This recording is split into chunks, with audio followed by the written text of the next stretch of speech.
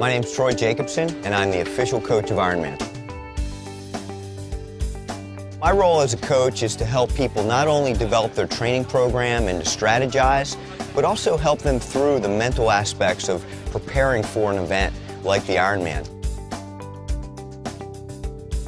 My many years of being a triathlon coach, been coaching athletes since the early 1990s, um, I've had a lot of really inspiring situations where people have come to me and said, here's my goal. You know, I'm 100 pounds overweight for me, it's all about changing my life.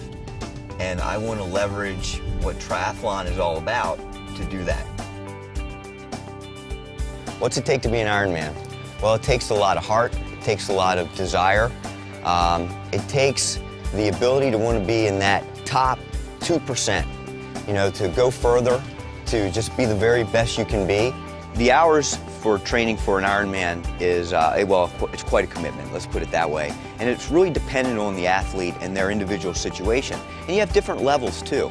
There's a lot of people who just want to finish, which is an incredible goal in and of itself. And then you have the more elite competitors who know they can finish, but then they want to place in their age group.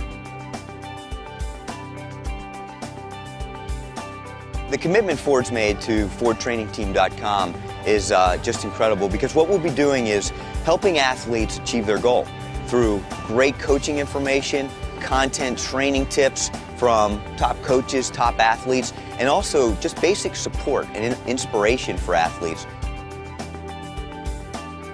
One of my jobs is also to help people set realistic goals.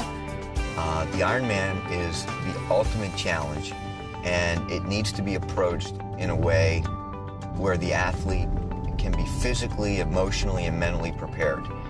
The, the distance deserves respect in every way.